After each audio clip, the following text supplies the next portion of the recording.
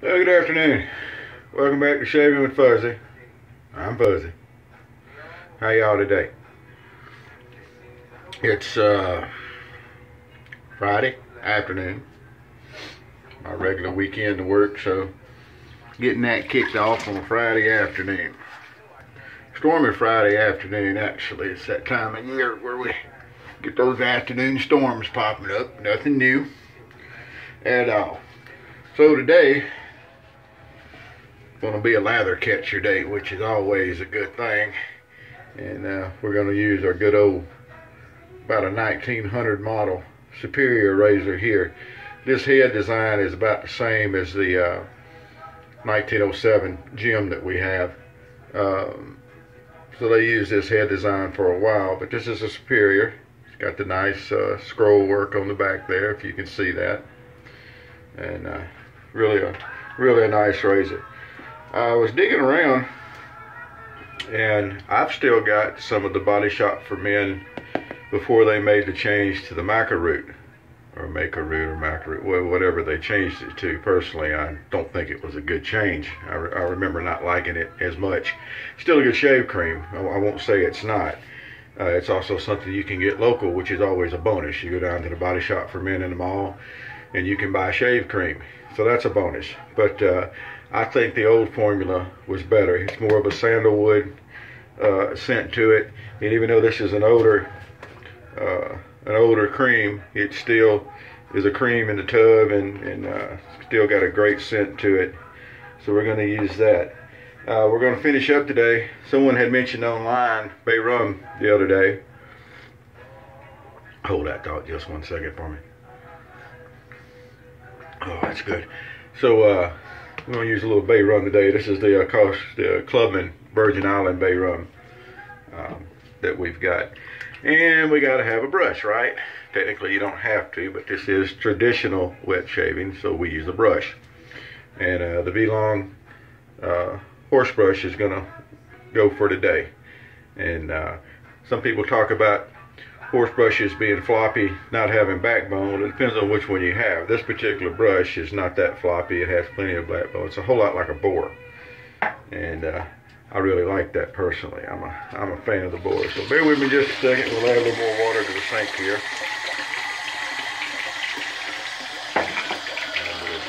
As we go along. More hot water. I don't worry about heating it up. I know I've seen some people that would uh, use an electric pot or something to heat water up and want it hot, hot, hot. What comes out of the hot water tank is great for me. And, uh, you know, I'm just not a cold water shaver. We discussed that. If you shave with cold water, great. A lot of people do. A lot of people do a lot of silly things, but that's okay. So we're just going to load some cream right out of the tub. Uh, I've always kind of liked that. Now you can, of course, scoop it out and put it on your face like we do a cream out of a tube works great. And uh, I know bowl lathering, people just kind of scoop a little bit out and they put it in a bowl and they go to the lathering. You know, I think bowls are great. Use them all the time for soup. There we go. All right, so we got us some cream on our brush. Got our face washed off. I have always liked this cream. And come to think of it, I've got another tub of this around. I should probably use it more often. One of these days it's probably gonna not be so good, but right now, and I don't remember when they discontinued this stuff, but uh, it's been several years ago that they discontinued it and came out with a new formula. A new formula is in a blue tub or blue tube, as I recall. Like I said, it's not bad. It's a good cream, and it has the bonus of being able to be gotten local. I'm not much on the scent. And uh, a lot of people tout, you know, the skincare of the product and that kind of stuff. And I don't know. I kind of got cast iron skin, I guess. I don't worry about skincare. Maybe if I did worry about it, I'd be a little better off. I don't know. We're not going to find out. But if you'll notice there, it does a really good job a ladder. Got some swirling going on here. We're adding that last little bit of water. Look at that, what happened. Boy, we got us a good, Don't get much better than that, I'm telling you. Plenty of backbone to the to the horse brush. There's no issues with backbone there. Not for that brush. Now that being said, if you'll recall, I've got the cheap Chinese horse knot that I put into a uh, vintage handle, and it is fairly floppy. It, it, doesn't have a lot of backbone, but it still lathers great. So, you know, a lot of times if you have problems with a brush, it's not what it's made out of, it's how it's made, it's how it's set. If it's set it a little bit deeper, you get, you know, more backbone to it, and uh, this, that, and the other. So this already had a Treet blade in it, and I wasn't sure how uh, how old the uh, blade was. Typically speaking, if a blade's ready to go, I don't leave it in a razor. So I was pretty sure it'd be okay, and I'm right. It's a good sharp blade. We'll come under here. Come back up. We'll use our thumb at the end of our sideburn to be sure we're not cutting off sideburn that we don't want to. Alright. Lionel Richie singing all night long. I'll be doing that tonight.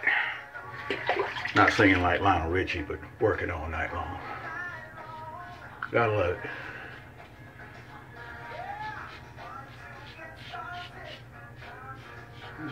Boy, very nice cream. So, uh, I was reading another post the other day, and someone mentioned about using the cold water to close the pores up after a shave, and of course that kind of caused a little, little rant. Just a little thing about pores. There's no such thing at all, no such thing, as pores opening and closing. It is not possible for pores to open and close. There is no mechanism. There is no muscle sitting there opening and closing the pores. So, you always had this old wives' tale of using the hot rag to put on your face and opening the pores up and getting everything ready to shave and whatnot. And then when you get finished, you use the cold water and it closes the pores up. And it doesn't happen that way at all. And warm water will soften your skin and make your skin feel better and everything. I will agree with that. And cold water will tighten the skin up. Has to do with the blood flow, I imagine. Something like that. But it does not open and close your pores. Doesn't happen, can't happen. I run into that argument every once in a while with the cold water shavers. And uh, you know, hot water opens your pores up and it makes your skin more susceptible to irritation and it makes your skin more susceptible to the burns and yada yada, whatever. Well, it doesn't. And warm water will make your skin slacker. I could see that. You know, and maybe that, if you're not doing good skin stretching, uh, could contribute to irritation and things. I think usually irritation can be contributed to the way you use your equipment, personally. That is a personal thought. Technique trumps tools, so with good technique, you shouldn't have to worry too much about irritation anyway. And that being said, a lot of people I know have been doing this a long time, and friends of mine like cold water shaving. And it's great. You know knock it out. But, uh, whatever. Saw an Aqua Velva ad. I think it was an Aqua Velva ad, and I'll tell you why in a minute. Uh, someone had posted, and it was talking about use plenty of hot water to start with, soap in a mug, any mug will do, working into a good lather, shave with a sharp blade, and rinse with cool water and then use an aftershave like Aqua Velva. So when they said an activate like Aqua Velva, Aquavelva, yes, in talk. I didn't even think it was probably an Aqua Velva commercial or Williams or something. Could be Williams. But, uh, so yeah, a little cool water rinse. by the time I finish shaving, most of the water I rinse off with is going to be still going to be warm in the in the sink, and to me that does the best job. You shower in warm water because the soaps works better. So seems to me that warmer water, cleaning the soap off your face and cleaning your face up would be better than cooler water. You know, you know what I'm saying? Hmm? Make any sense to anybody? It won't to some people, but that's okay. And I'm not a dermatologist or skin care scientist or anything. Just an old redneck likes to shave. Alrighty, we've gotten through our two passes while we've been talking of a really nice razor.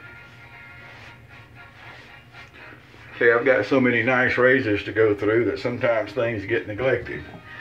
I don't know how long it's been since I've used this Superior.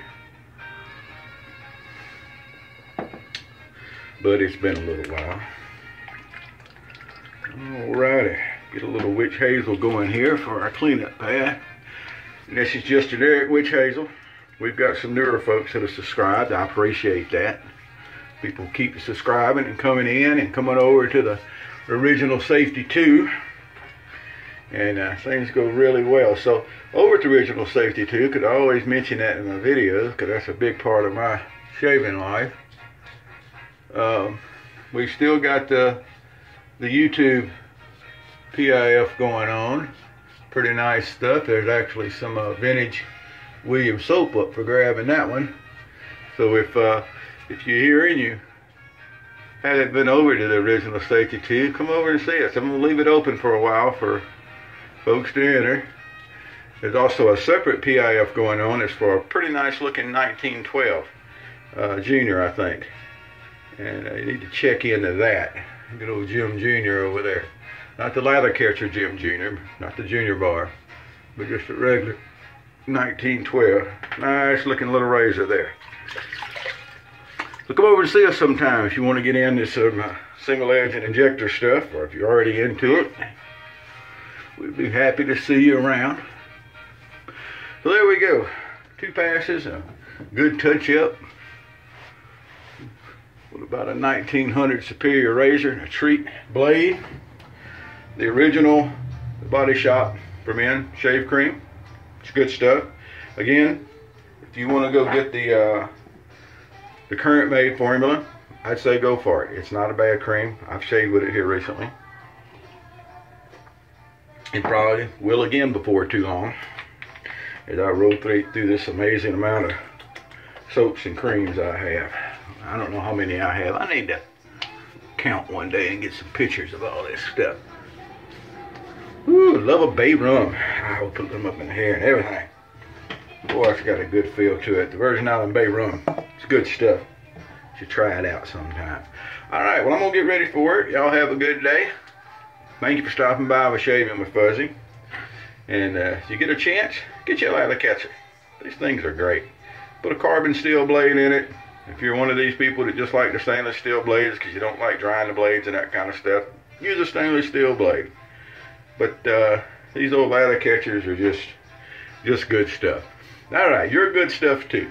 Happy shaves to you, and we'll see you later.